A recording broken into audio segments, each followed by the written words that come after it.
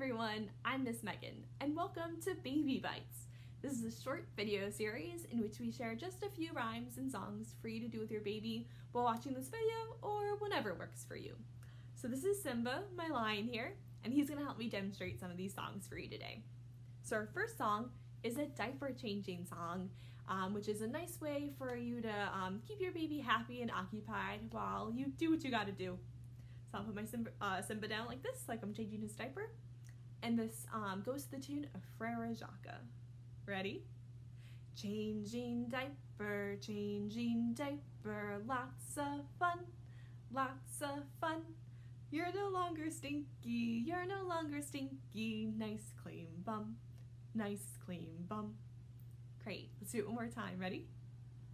Changing diaper, changing diaper, lots of fun, lots of fun. You're no longer stinky, you're no longer stinky. Nice clean bum, nice clean bum. Good job, everybody. And our next song, well, our next two songs are to be food related, just because I thought that would be fun.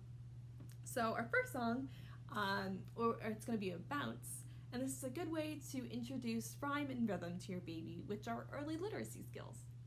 So, hold our baby like this. Um, ready? You be the ice cream, and I'll be the freezer. You be the lemon, and I'll be the squeezer. You be the hot dog, and I'll be the bun.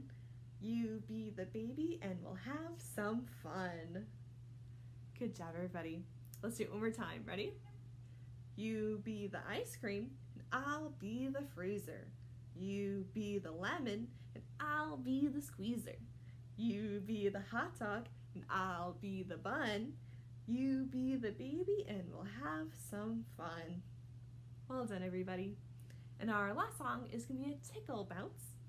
And this one, we can touch your um, baby's body parts as we talk about them. You can tickle their feet at the end. But if your baby doesn't like that, feel free not to do that. You can also just do a simple bounce for this. Ready? Mix and stir and pat in the pan.